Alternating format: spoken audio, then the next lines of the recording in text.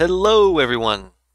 So today we're going to take a look at our form load function. We're going to take a look at building an array, using a for loop, and adding it to a list box here. So let's get started with our first piece of our setup here. So uh, on the left I've already added a list box now I want to use the form load function. So what is that? The form load function is what runs immediately when this form opens. So to use the form load function, I can just double click on the form here. Anywhere in the gray should work. Just don't click the, the list box. Here we just have a regular list box that we're going to add data to here in a minute. Uh, the first thing I want to do is build an integer array. So we'll go over some of the important principles of that. So here, first thing we need to do is define our variable type. In this instance, we are building an integer, and then by putting these square brackets, I say integer array. Now we're going to name it. This can be a variety of things, however you prefer to name your variables. I'm going to call mine integer array. Then we have the new keyword. This is required to build and initialize the int array variable that we have on the left hand side of the assignment operator. int, so we are saying what to build. And here we're saying build int array. Now there's a couple of ways we can do this. You can see there's a red underline here. It wants me to say the size of the array. Now I can either say the size explicitly like I've done here or I can say it implicitly inside of this initialization squiggle bracket. Here it's assuming that there's a 5 here, which is why I don't need to put a 5, but arrays need to know the size beforehand. Now let's create a loop that's going to go over our array. First important detail I want to point out is this is okay with the compiler. This is the bare bones of what a for loop should have. It just needs all of this. This code will run. It won't do anything.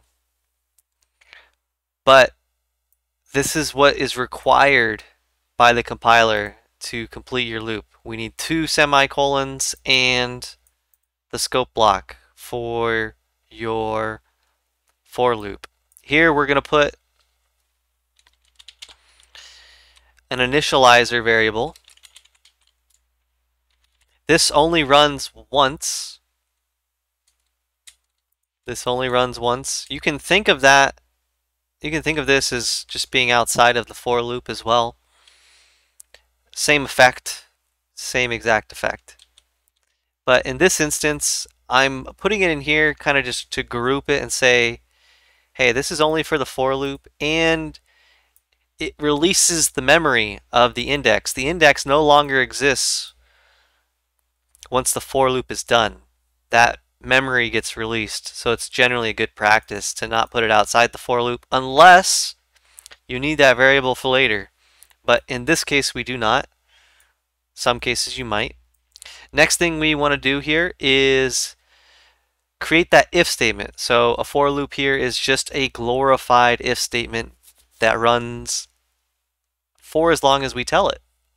So in this case, my if statement, my boolean condition, we're going to do when index is less than the length of int array here.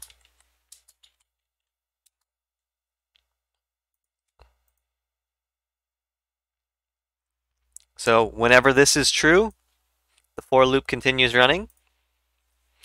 And then at the end of our for loop, every time the for loop ends, this condition will run. Everything after the second semicolon will run.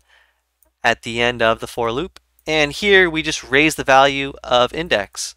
And so that creates this Boolean conditional that will eventually turn false because eventually index will not be less than the length of this array, which is 5 right now. And that is everything that we would use to set up our for loop. So a quick review and rundown of that, quick summary. This runs once. This is our initialization step. This runs once and only once and is released once the for loop is done. Here we have our if statement, you can think of it. It's our conditional that says when this is true, run the loop. And this here is what runs once you reach this part of the code right here, right? We're going to run all of this stuff that I've put right here. That all that code will run and then once we get to this part, we will we will run this piece of code which is just going to raise our index value by 1. It's going to start at 0.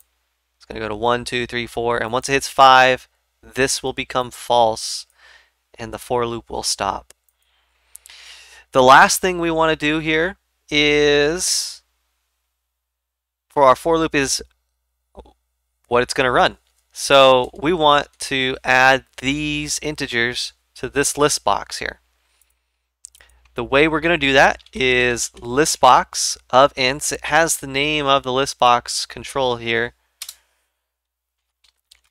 and items add. Items is to access what's on the list of the list box. You're just going to need to be familiar with some of these intricacies. And now we just need to put our int array and our index. So int array here and then square brackets and now we need a value. So we're going to read from our array here, right?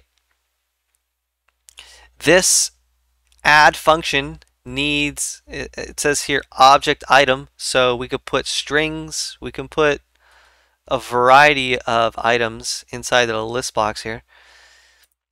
Here we're going to put integers, right? This is an integer array, and then once I throw down the index, it becomes an integer.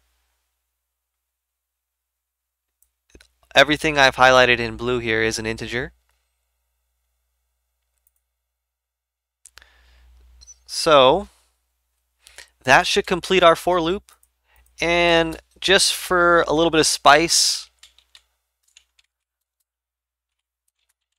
let's also display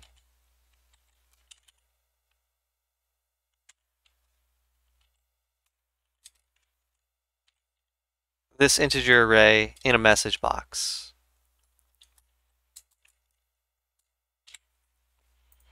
Let's display it in a message box too. So this code is going to run the minute I click start because we did form load. Quick refresh, we double clicked here, we got form load.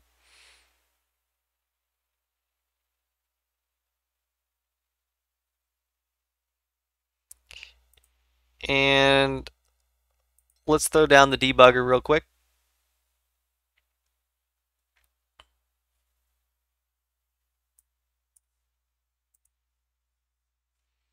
So here we built our integer array.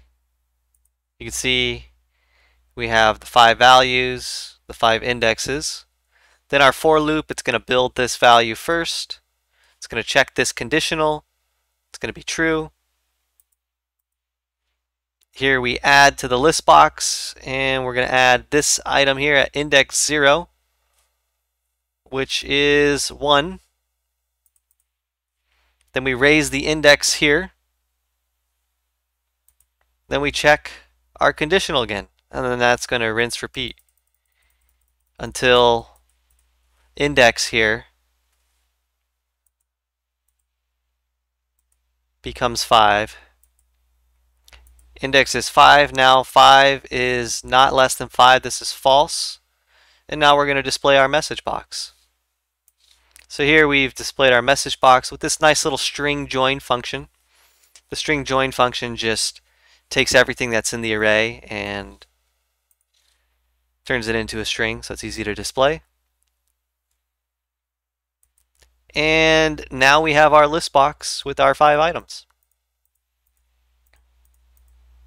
So that will conclude this short tutorial of how to use an integer array, use a for loop, and populate a list box and display it. So that's all for now. Thanks for watching. Take care. Bye.